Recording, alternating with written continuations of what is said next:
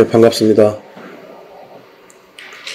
음, 지난 시간에 이어서 화성유품에서 나오는 열의 10호 중 운공 공부했었죠. 한번 들어보세요. 그죠? 운공 공부했었는데, 어, 세상은 공양바치에 창조되어 있다. 이렇게 배웠어요. 그죠? 은공의 사전적 의미는 뭐냐면은 부처님께서는 모든 대중들로부터 공양받을 자격이 있다. 그렇잖아요? 그것이 백과사전에 나오는 내용인데 그것 말고 그러면 부처님께서 우리한테 이 말씀을 왜 하시는가? 당신 잘난 척 하는 거 아닐 거란 말이에요. 그죠? 이 경의 말씀을 보면은 항상 함정이 있어요. 성경도 마찬가지입니다. 뭐 부처님께서는 내가 가장 존귀하다. 또 예수님께서는 나는 하느님의 독생자다. 이렇게 말씀하시니까는 세간 사람들이 생각하기를 아 저분들만 훌륭하구나. 그렇게 생각할 수 있겠죠. 근데 한 발 들어가 보면은 우리가 부처님 전에 와가지고 삼배하고 절하죠. 그러면은 그 삼배하고 절하는 마음에서부터 그 부처님은 절에 있는 부처 절에 있는 뭐 나무나 동으로 만들어진 부처님을 말하는 것이 아니라 내가 집에 가면 내 가족들이 부처님이란 말이에요. 절에 와서 부처님께 예의를 배운 다음에 집에 가서 내 가족들을 부처님으로 보면은 그 불자는 성공한 거예요. 근데 절에 와서는 부처님께 막 맨날 절하면서 밖에 나가서는 어? 나한테 필요한 사람은 아첨하고 필요 없는 사람 내챙 필요 없는 사람을 내팽개치면은 그 사람은 부처님 말씀 부처님께도 아첨하러 온 거란 말이에요. 그렇죠? 그래서 우리가 절에서 부처님을 모시는 것은 우상숭배가 아닌 것은 뭐냐? 일단 부처님 거룩한 분께 예의를 갖추면서부터 나한테 예의를 갖추는 힘을 배우는 거예요. 대우주로부터. 그래서 내가 절에 다니다 보니까는 다른 분들을 만나도 예의를 갖추는 힘을 배우는 것이고. 그죠? 부처님께서 세상에서 당신이 제일 존귀하다. 이렇게 말씀하신 거는 우리 모두 누구는 우리 모든 사람은요 다 자기가 가장 존귀해요. 네? 택시 운전하는 운전수가 대통령보다 자기가 더 자기한테 존귀할 거 아니에요. 그죠? 모두가 경외만 성경도 이렇게 풀어야 되는 거예요. 예수님만이 하느님의 독생자가 아니라 모든 사람들 마음속에 내가 다 주인공이에요. 독생자는 뭐냐? 하느님의 장자. 이, 이, 그죠? 이 지, 자기가 주인공이란 말이에요. 그 누구든지 내 인생은 내가 주인공이기 때문에 이 세계에서 나한테는 내가 제일 소중해요. 근데 그거를 예수님 말씀을 듣고 예? 예수님만 독생자이기 때문에 다른 종교를 믿으면 지옥 가. 특히 뭐 해외에 있는 천주교 기독교는 그런 게 없는데 유난히 한국 기독교만 그렇습니다. 예수님 안 믿으면 지옥 간다. 왜? 예수님만 독생자야. 이거는 마치 스님이 은공이니까는 부처님은 고향마다 자격이 있으니까는 쌀 가져오세요. 과일 가져오세요. 돈 갖고 오세요. 똑같은 거예요. 이 경의 말씀에는 다 함정이 있어요. 뭐 불경을 읽든 성경을 읽든 아니면 또 다른 성서를 읽는다 하더라도 그 안에 내용을 보시잖아요. 어떤 내용이 있냐면은 다 이렇게 이야기 책처럼 써져 있고 좀 약간 듣다 보면 정확히 이해가 안 가면서 전부 다 이게 비유나 은유로 돼 있어요. 비유도 그러면서 그럼 이거는 이 비유를 우리가 무엇이냐 가지고 화두를 가지고 오랫동안 기도하다 보면은 다시 풀리는 거예요. 아 그렇구나. 부처님께서 당신이 존귀하다 한 거는 천상천하 여독종 그랬잖아요. 하늘 땅 하늘 아래 내가 제일 잘났 내 제일 존귀하다. 그거는 당신만 존귀한 게 아니라 하늘 땅 하늘 안에 내가 나를 존귀하게 아니 본 사람 누가 있겠느냐. 그러면 처사님도 처사님 인생에서 본인이 제일 소중하잖아요. 나는 내가 제일 소중하고. 그럼 내가 내 소중한 나를 존중하는 만큼 상대방도 존중할 수 있을 때, 아, 부처님께도 그렇게 말씀하셨지. 부처님이 자기 자랑하려고 내가 제일 잘났어. 예수님이 자기 자랑하려고 나만 독생자야. 그런 거 아닐 거예요. 근데 그런 분들이 성현이 계세요. 그래서 이 경의 말씀엔 다 화두가 있어요.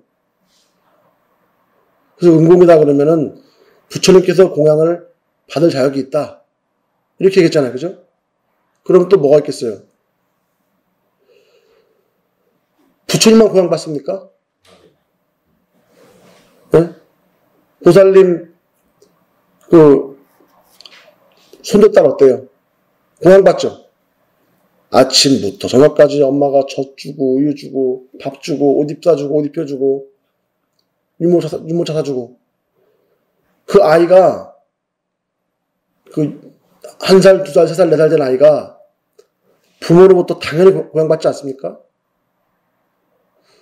절에 있는 부처님처럼 우리 절에 부처님만 고양받는 게 아니에요. 우리 집에 있는 어린아이들 커서 초등학교, 중학교, 고등학교, 심지어는 뭐 대학 가서는 스스로 벌어서 쓴 사람도 있지만은 부모들이 대학교까지 도와준 사람도 있단 말이에요. 그렇죠? 근데 그 아이들은 당당하지 않습니까? 응공에서 응자는 당당할 당, 당 응당이거든요. must. 영어로 must. 당, 당신은 나한테 당, 공양해야만 되는 거야. 그렇죠? 처사님도 아무리 일이 늦게 끝나도 새벽 6시 되면 달려가서 애들 자꾸 태우잖아요. 그 아이들이 고향 받는 거 아니에요, 아이들이요? 그러면 그, 그 우리가 여기서 이, 이 말씀에서 드리는 메시지는 무엇일까요? 말씀에서.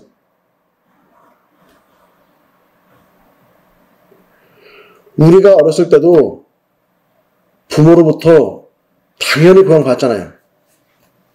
안 그래요? 그럼 우리가 지금 자식들한테 해주는 것은 부모로부터 받은 거를 그냥 되돌려 주는 거예요. 우리 당연히 해야 되는 거예요. 왜? 내가 태어나서 받았기 때문에. 어렸을 때 한, 한 살, 두 살, 세 살, 네 살 크면서 부모들이 해줬기 때문에 나도 내 자식한테 해줄 수밖에 없는 거잖아요. 그러니 내가 받고 되돌려 주고 그리고 내가 어제 드린 말씀 뭐예요, 은공이? 내가 먼저 고향 바쳐라. 내가 먼저. 내가 먼저 바치고 남이 하든가 말든가 신경 쓰지 말라는 겁니다. 나는 내할 때만 하면 되는 거예요. 이 불교는 근본 어, 가장 핵심적인 사상이 뭐냐면은 연기법이거든요. 연기법은 나한테 일어나는 이런 다 내일인 것이지 남이 하는 게 아니다. 어떤 제자가 스승을 모시고 있었습니다. 그래서 제자가 돈이 많아. 그래서 스승님을 잘 모셨어요. 그러니까 이제 제자 생각하기를 아유 스승님 나 같은 제자 만났기 때문에 어? 저렇게 호황 호의호식하지 하면서 좀 버르장머리가 없어진 거야 제자가. 그래서 제자가 이제 스승이 하고 스승님을 한테 불만을 삼다 보니까 떠나면서 생각하기를 내가 당신을 안 모시면 누가 당신을 모시겠냐 떠났단 말입니다. 그리고 이제 몇 년이 와봤어. 어떻게 했을까요? 다른 사람이 더잘 모시고 있는 거라. 왜? 그거는 그, 그 큰 스님의 복인 거예요. 스, 스승의 복인 거예요. 스승의 복이 있기 때문에 받은 것이고, 그러죠? 여기 우리 보살님들 오면은 아이들 뭐 초등학교, 중학교, 고등학교 가르칠 때는 돈이 잘 벌려요. 근데 그 아이들 딱 이제 나가서 이제 결혼해서 둔가하면은 돈이 안 벌린 사람들 많을 거예요.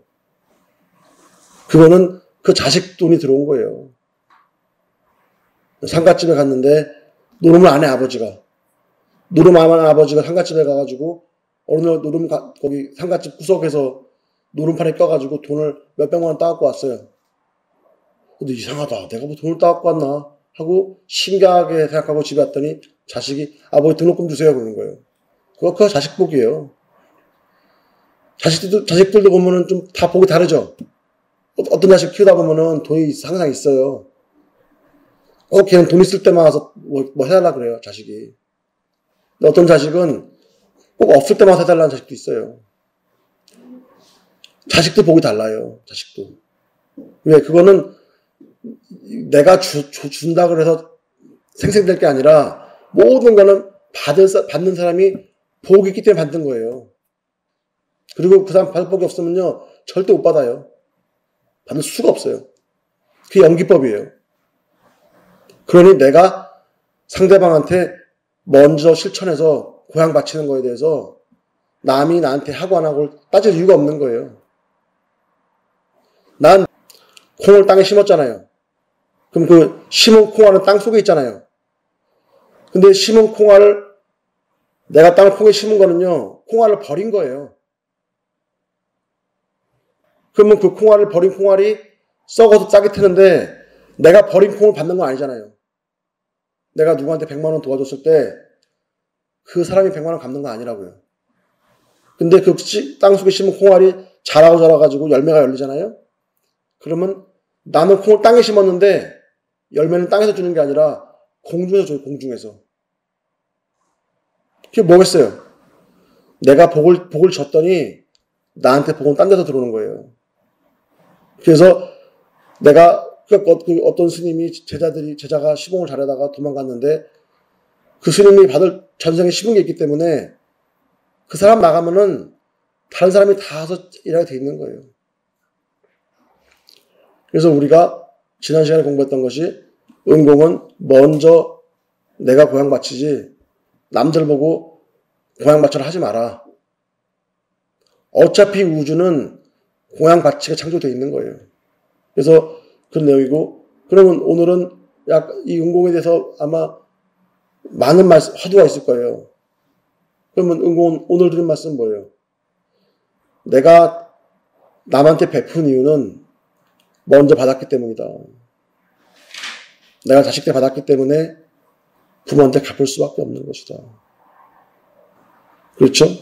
그러면 야 어떤 마음이 들까요 우리 마음속에? 어떤 마음이? 어렸을 때 어머니 받은 거를 몰랐잖아요. 너무 당연시하게 했던 거 아니에요. 그죠? 당연한 거잖아요. 근데 내 자식을 키우다 보니까는 힘들어, 고통스러워. 그럼 내 마음속에 무슨 마음이 생길까요?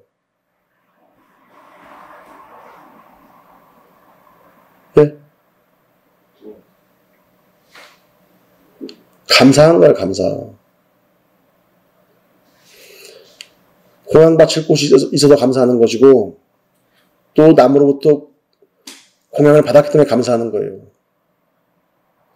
우리가 줄 있는 것도 참 고마운 것이고, 또 내가 받는 것도 감사한 것이고, 서로 서로 주고받으면서 감사밖에 없는 거예요. 내일은 은공에 대해서 또 감사에 대해서 계속 말씀을 드리도록 하겠습니다. 이상 마치겠습니다.